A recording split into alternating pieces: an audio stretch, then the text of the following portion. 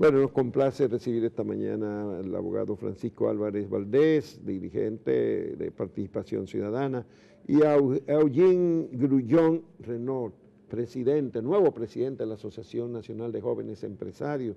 Muchas gracias por haber aceptado nuestra invitación. Parece que hoy está ya convocado el Senado para elegir la nueva Junta Central Electoral.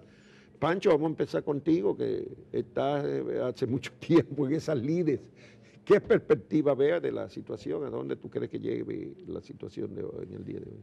Bueno, lo primero, Juan, eh, es que hay que señalar que hay algún eh, elemento de esperanza, si se quiere, ¿no?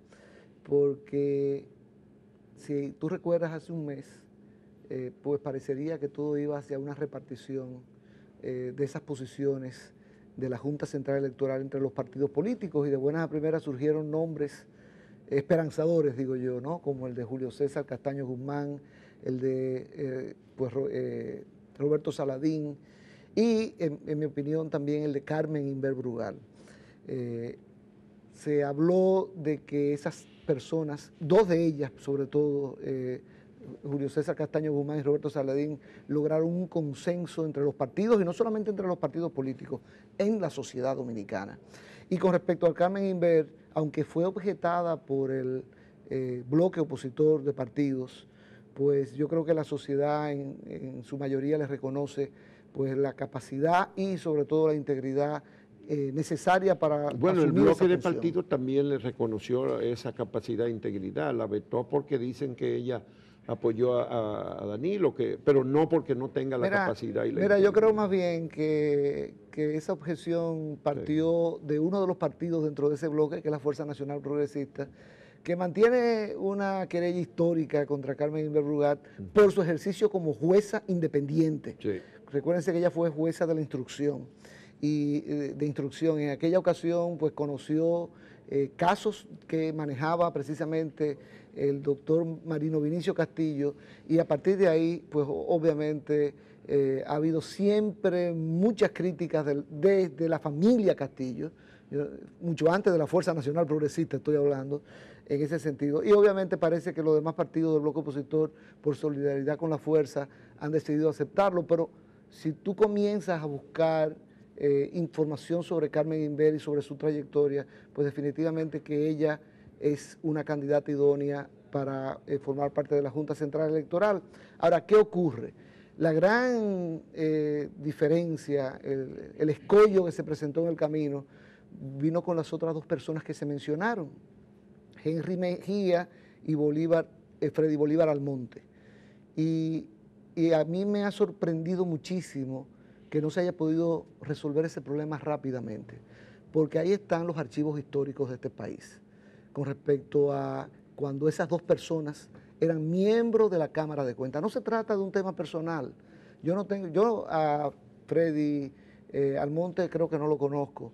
Y a Henry Mejía sí lo conozco. Él siempre me ha tratado con mucha distinción.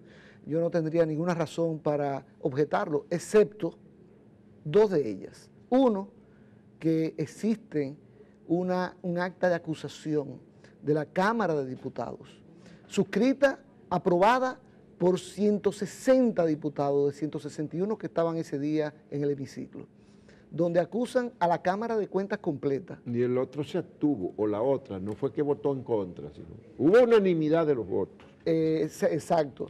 Y, no, y, en esa acta de acusación para juicio político ante el Senado, se les acusa de, se les acusa, fíjense que estoy utilizando una palabra muy clara, no estoy diciendo se les condenó, se les acusa ante el Senado de haber violado la ley de función pública, la ley de Cámara de Cuentas, la ley de compras y contrataciones, además de eh, chantaje de funcionarios públicos, ineficiencia en el servicio. Bueno, el Senado lo describe en el acta que existe, por el cual destituye a uno de los miembros de la Cámara, el único que no renunció, eh, habla de faltas graves en el ejercicio de sus funciones de los cinco. Eh, entonces, ¿cuál es el tema? Tenemos que yo no estoy diciendo aquí, quiero aclararlo, para que mi buen amigo Eduardo Jorge Prats eh, no venga a corregirme posteriormente. Yo no estoy diciendo aquí que ellos no tienen una presunción de inocencia. Claro que la tienen. toda persona que no sea condenada de manera definitiva goza de esa presunción de inocencia. Y los cinco, los cuatro miembros que no fueron eh, condenados porque renunciaron antes de someterse al juicio político, pues gozan de esa presunción de inocencia. Pero, Blas Peralta que está Blas Peralta goza de la presunción de inocencia. Que hay documentación oral de, Ahora, intercambio telefónico, hasta él, hasta que no lo condene, definitivamente el principio de la presunción de inocencia yo te pregunto, ¿y tú crees que vale la pena considerar a Blas Peralta para que eh, vaya a una función pública elegida? Ellos renunciaron a someterse a un juicio oral eh, público y contradictorio para demostrar su presunción de inocencia. Pero, y además las leyes...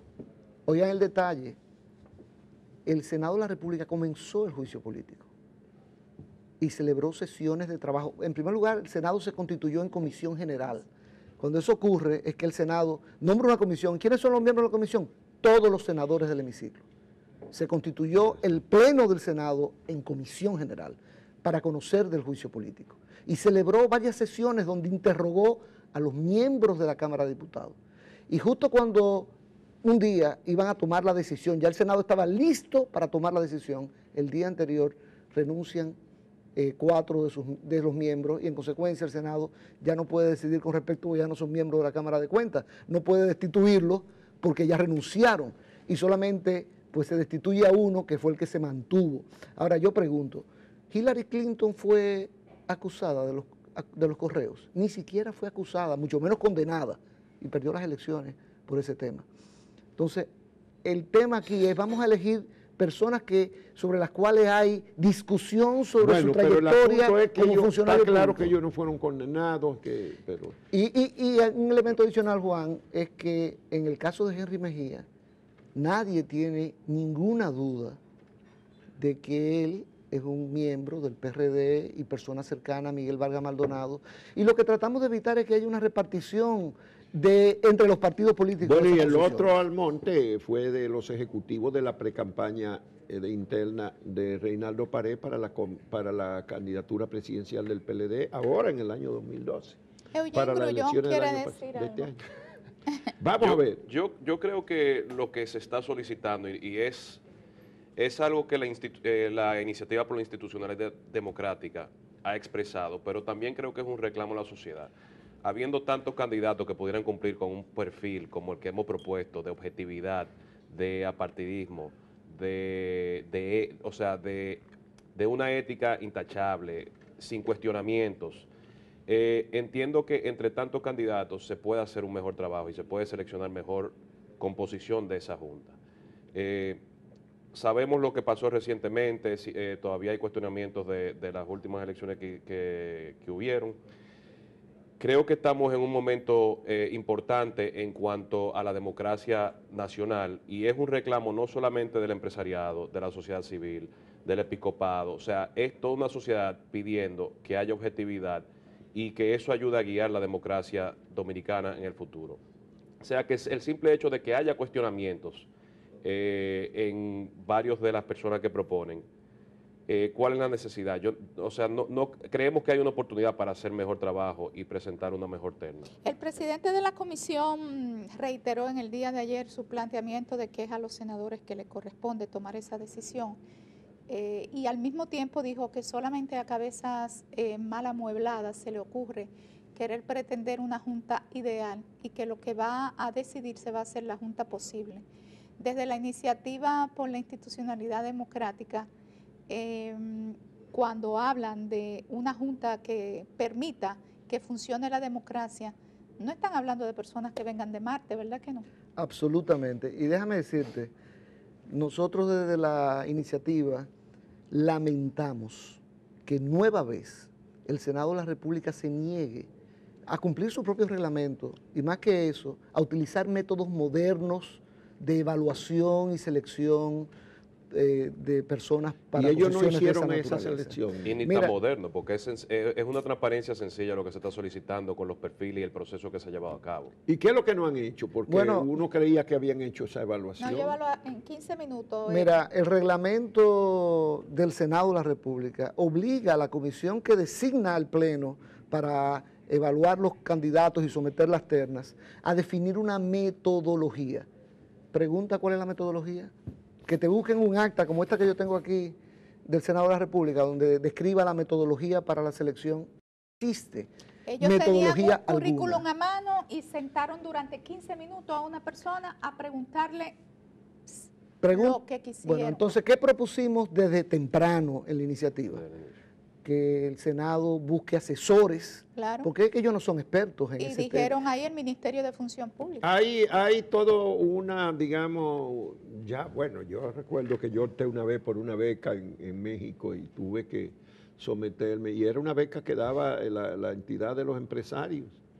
Y eh, que yo era una evaluación realmente para ver si yo ganaba. pero fíjate, todavía no... y eso hace 50 No, años. Por Mira, eso digo, no es un tema de, de ¿eh? modernización, Eso no es de hoy. un tema de transparencia.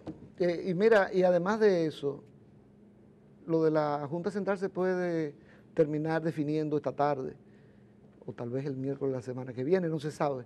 Pero después va a quedar la Cámara de Cuentas que ya salió publicado el listado de listas 200 y tantas personas que están aspirando. Y después vendrá el Consejo Nacional de la Magistratura a elegir a los miembros del Tribunal Superior Electoral y a sustituir tres vacantes que va a haber en la Suprema Corte de Justicia. Pero al menos los miembros de la Cámara de Cuentas eh, tienen ciertos requisitos, como por ejemplo la, la certificación de cinco instituciones públicas de que no hay conflicto con la ley de esos candidatos.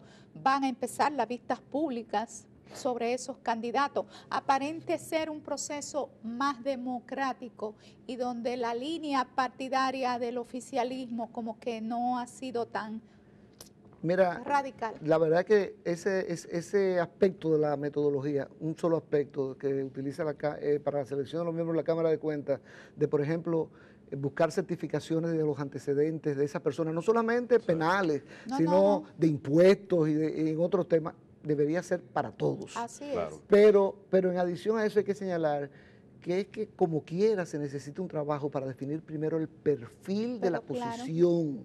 Y después que tú y defines ellos el perfil, tampoco definieron el perfil. bueno, ahí donde está el tema. La ley de la Cámara de Cuentas va un poquito más. no digo en el caso de lo- de lo- del Senado de- y de la Junta, no definieron el perfil. Absolutamente no. O, se- o si se Eugene, definió, no se ustedes los empresarios, por ejemplo, como- para una posición ejecutiva, eh, ¿quién evalúa? aquí? ¿Cómo, ¿Cómo se hace una evaluación? Por- porque hay que asumir que debe ser más importante un miembro de la Junta Central Electoral que cualquiera que va que tú busques una empresa para una posición ejecutiva. Bueno, precisamente eh, es- ese es el problema, que no sabemos si se definió un perfil porque no se ha hecho público. Por eso insisto en el tema de la transparencia, porque quizás se hizo el trabajo y no lo conocimos. Vamos a dar el beneficio de la duda. Eh, sin embargo, obviamente hay una descripción de puesto en el lado empresarial. Eso es lo decir, primero que ustedes hacen, una descripción del Y puesto. la persona tiene que cumplir con ciertos requisitos para poder ejecutar esa función. Ya no eh, tiene que ser abogado. Y si aparecen 10 personas, ¿cómo le hacen ustedes una evaluación? ¿Le dan una puntuación uno por uno? ¿Cómo Bueno, hay examinaciones, hay entrevistas, hay todo un proceso que toma más de 15 minutos. Pruebas psicométricas. Pa- bueno, pruebas psicométricas, de Prueba todo. de actitudes de trabajo Claro, en eh, equipo. Una prueba que, que te, te presenta el perfil de ese candidato incluso. Eh, pero sí, es un proceso muy complejo y eso es para una posición de oficial en cualquier función sencilla. Entonces uno esperaría que se hizo ese trabajo en, en el Senado para poder escoger esa, esa Junta Central Electoral como es posible. No, no, no la ideal, pero sí la ¿Y posibilidad. por qué no la ideal? Porque vamos, nosotros renunciamos a que no es posible lo ideal. ¿Lo ideal qué es? En este caso, ¿qué es lo ideal? Que, que- que según ellos no es posible conseguir. ¿Qué es para ustedes lo No, ideal? no, lo primero que lo ideal es que haya una metodología que incluya la evaluación de las destrezas que tiene el ser humano de acuerdo con la posición que se busca. Por ejemplo, Eso por ejemplo es, un es un órgano colegiado. Pues una de las destrezas es saber trabajar en equipo. Ahora yo pregunto, ¿ustedes creen, tú sabes evaluar, Juan Bolívar, eh, a una persona en esa destreza en particular? No es un. Es- eso se, se estudia, eso es una ciencia. Entonces el Senado debió buscar ayuda en ese sentido para poder evaluar esas destrezas. No hizo absolutamente nada de eso. Nosotros esperamos, y esa es la situación ideal. ¿Y tú crees que eso es imposible de alcanzar?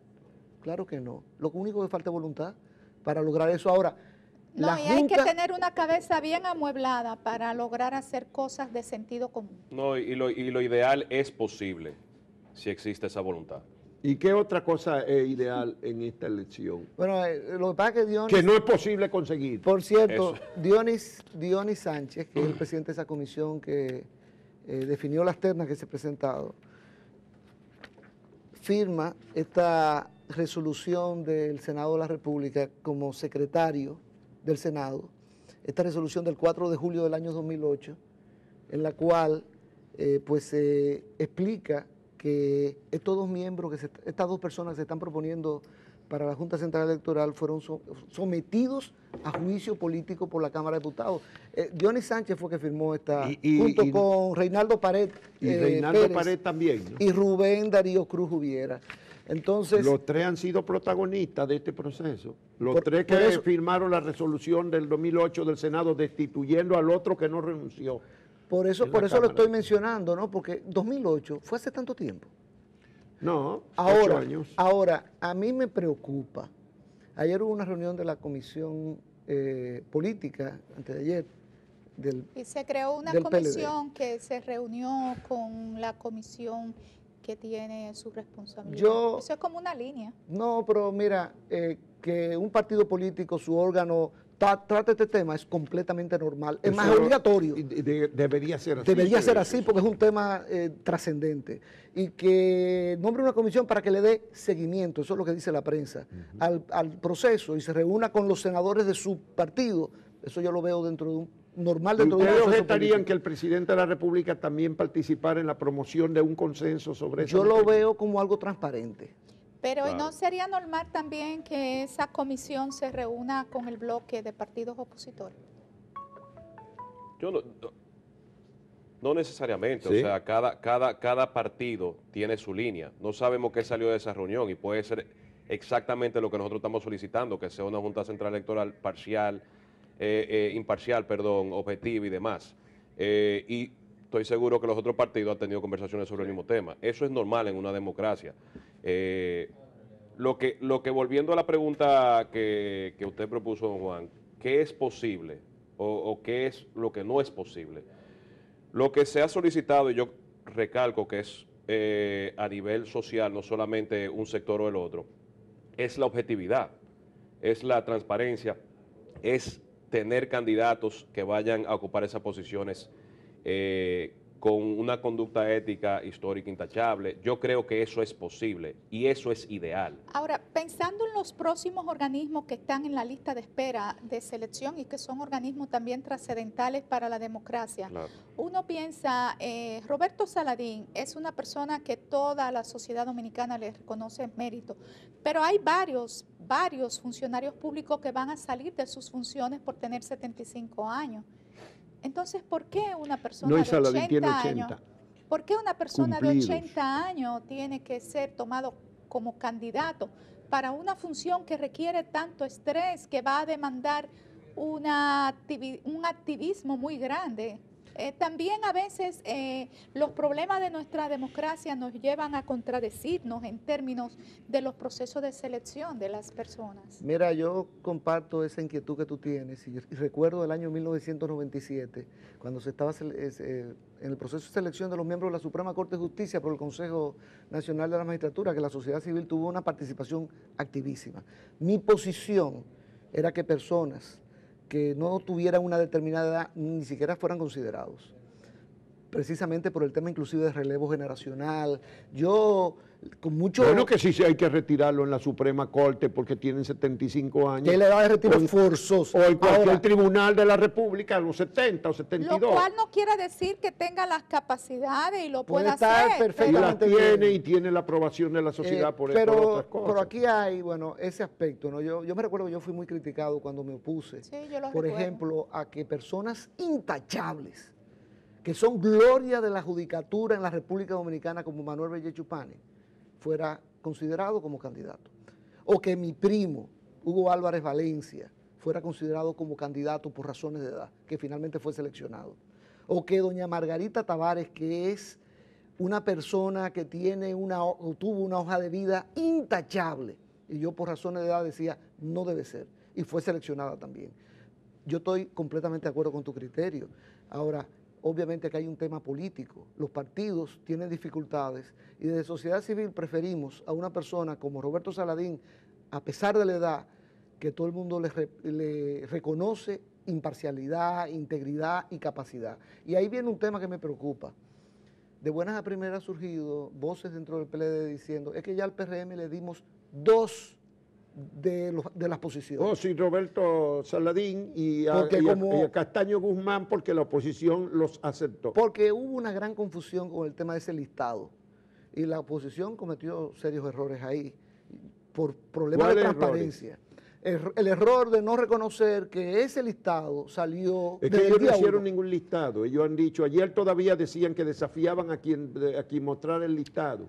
Han explicado que ellos enunciaron gente como estos que deberían ir y anunciaron de gente como eso. Ni Pero tal siquiera- vez- y dijeron, no, no, hemos hablado con ellos, No, no. son candidatos, no le Juan, estamos proponiendo, simplemente creemos que debe ser gente como esta. Marisol Vicens, que figuró en ese listado, La consultaron, eh, que es mi socia, sí. o sea, por eso puedo hablar, y ya envió una carta a Reinaldo Pared. Pero ella la, no la- fue la consultada, nunca le avisaron, le tomó de sorpresa cuando salió ese tema. ¿Por Y qué? obviamente, ¿Y por qué tú no piensas que en la mediación quien estaba mediando quizás utilizó un procedimiento inadecuado?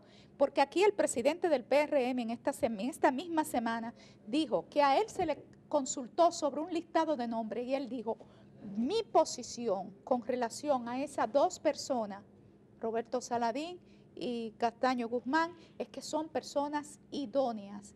Ahora bien, el resto de las personas, yo ni siquiera puedo opinar, tengo que ir al interior de mi partido para yo opinar. De hecho, dijo él que le dijo al mediador, todas las personas que usted me ha citado, yo debo de ir al seno de mi partido a pedir opinión. entonces, yo lo que no quisiera que se desviara Entonces- el foco de la atención, Bueno, porque el pero- foco de la atención debe estar en que eso que está circulando con declaraciones de que ya se le, ya se le dieron dos al bloque opositor, es decir, que eh, sería como decir que Julio César Castaño y Roberto Saladín Son del PRM. son del PRM o de un partido del bloque opositor. Y eso, en primer lugar, representa una desconsideración a esas dos personas.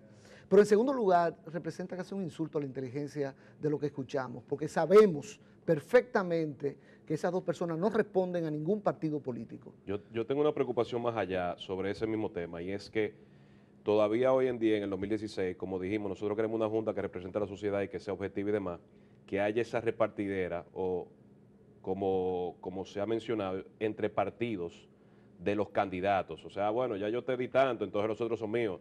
No, eh, eso no debería existir porque al final del día los partidos representan la, la voluntad del pueblo.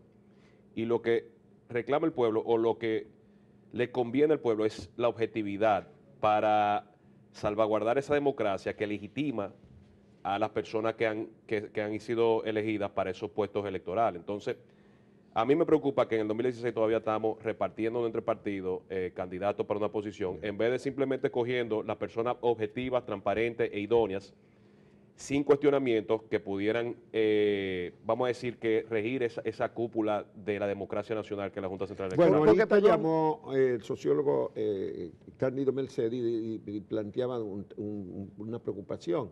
Es decir, eh, en el caso de Henry Mejía, él fue ya miembro sustituto después de aquel el asunto. Y él dice que cómo fue posible que fuera miembro sustituto y ahora se le... que hay gente que dice que porque ahora lo vetan para titular. ¿Cuál es la diferencia? Y, y si aquella vez que se, él fue ahí por respaldo político, si eso ustedes entienden que debe prevalecer o es de lo que se está reclamando que se supere. Eso no necesariamente eh, quiere decir que lo valide para esta ocasión. Quizá en esa ocasión tampoco debió haber sido considerado. Pero eh, hablando con don Pancho esta mañana, hablamos de un artículo que salió en un periódico nacional sobre el tema de la repartición de la Junta Central Electoral y posteriormente los efectos de esa, de esa repartición. Y es que siempre ha habido cuestionamientos a las elecciones que provienen de una Junta Central Electoral, y usted me corrige, don Pancho, de una Junta Central Electoral que fue repartida entre los partidos. Sin embargo, cuando se elige una Junta Central Electoral bajo consenso de la sociedad y los partidos y demás, eh, no han habido temas en las elecciones posteriores. Y yo creo que eso es un espejo en el que tenemos que, que mirarnos y aprender de la historia que hemos vivido recientemente. Además- es importante, es importante ese tema y fue en el periódico El Caribe, un trabajo muy interesante que recoge la selección de los miembros de la Junta Central históricamente y allí se dice, cuando se logró un consenso en la Junta de César Estrella Sadala, ¿hubo impugnaciones, conflictos luego de las elecciones? No. Cuando se eligió por consenso la de Juan Zuli Bonelli, eso fue en el 1998, eh, para las elecciones de 1998, ¿hubo conflicto? No.